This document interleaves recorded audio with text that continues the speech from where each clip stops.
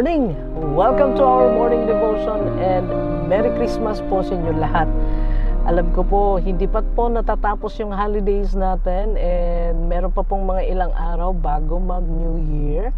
So, advance Happy New Year po sa ating lahat. Uh, I hope that you will be welcoming the New Year with expectations coming from our God. Kaya patuloy po tayong uh, tumingin sa Kanya na ating lakas, ating uh, pinagmumulan ng lahat-lahat no, sa buhay natin. And this morning, we will continue with Philippians chapter 2. Last week, I discussed about Timothy. No, binanggit po ni Pablo na wala siyang makitang ibang katulad ni Timothy na merong genuine concern sa welfare po ng Philippi or Philippian church. So, sabi niya ganon, uh, ipapadala niya si Timothy doon sa sa Philippi dahil gusto niyang malaman kung kumusta na ang mga Philippian believers. This morning, ipa pakikilala po sa atin ni Pablo si Epaphroditus, isa naman pong kapatid at co-worker niya. Verse 25 sabi po dito sa Philippians 2, But I think it is necessary to send back to you Epaphroditus, my brother, co worker, and fellow soldier, who is also your messenger, whom you sent to take care of my needs. For he longs for all of you and is distressed because you heard he was ill. Indeed, he was ill and almost died, but God had mercy on him, and not on him only, but also on me, to spare me sorrow upon sorrow.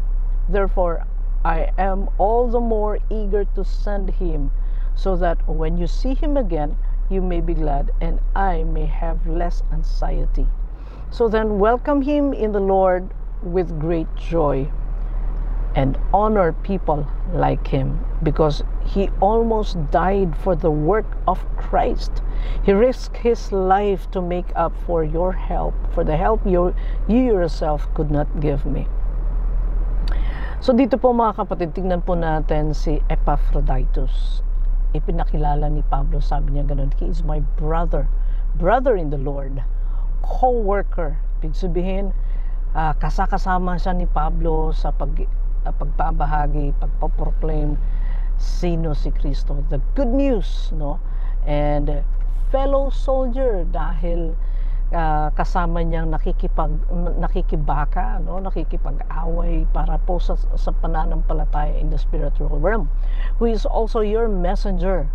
Uh, pinadala po ng mga ng Philippine church si si Epaphroditus para po alagaan at ihatid ang mga pangangailangan ni Pablo kung nasan siya. It may be nasa Rome or nasa Ephesus siya during this time because he was house arrest. Okay? So, um, kaya lang si, si, si Epaphroditus nagkasakit. Nung lalaman ng Philippian believers, sabi nila, nag-worries talaga sila. Nag, of course, they prayed, but they were so uh, concerned kay Epaphroditus. At uh, inisip nila baka hindi na nila makita sa si Epaphroditus.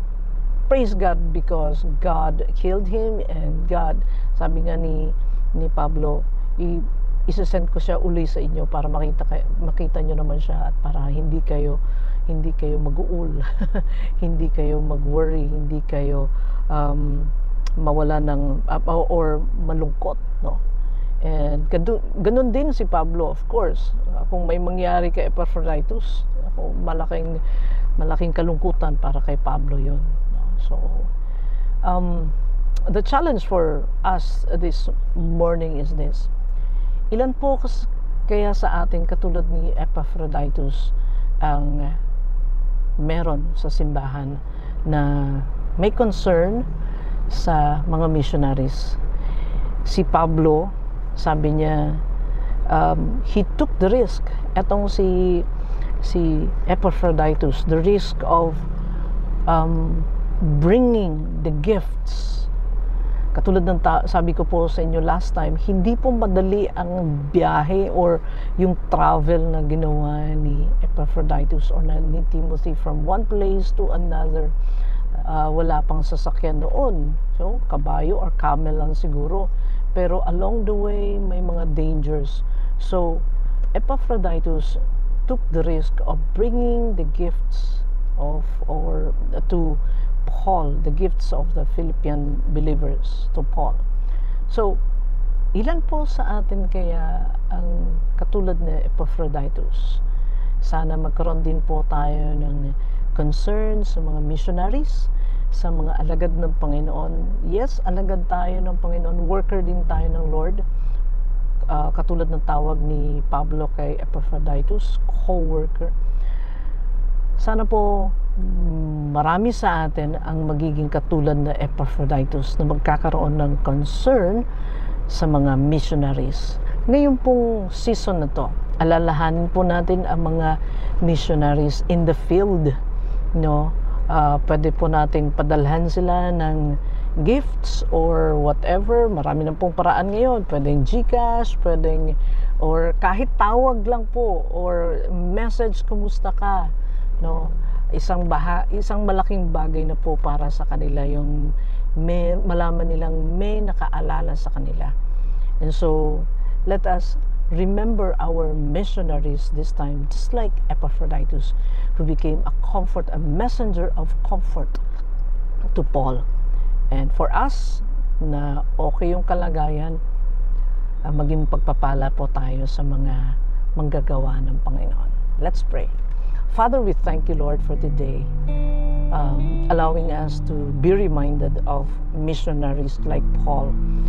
And uh, challenging us to be like Epaphroditus, who became a bringer, a messenger of comfort to Paul, oh God. And so make us also um, a messenger of comfort, joy to missionaries that we know.